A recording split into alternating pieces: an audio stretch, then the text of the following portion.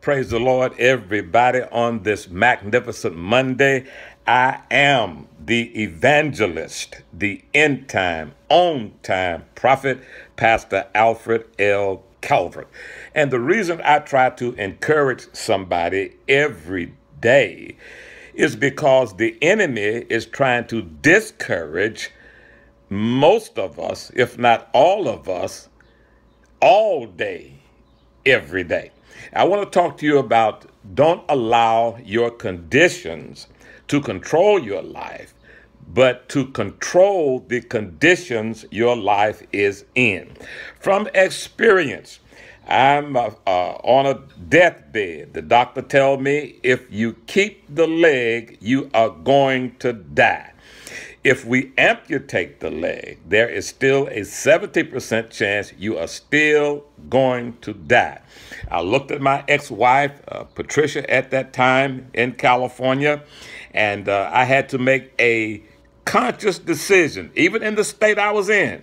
I had to make a decision. I knew I didn't want to die, I wanted to live.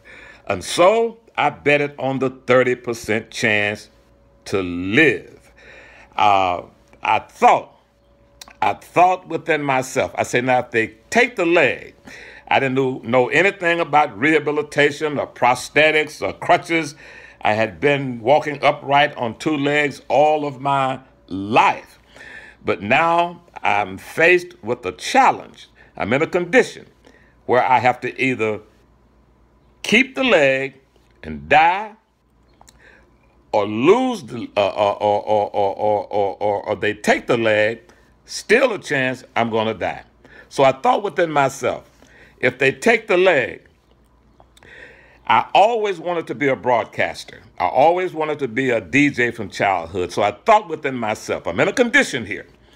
I said, if they take the leg, okay, but I still have a voice.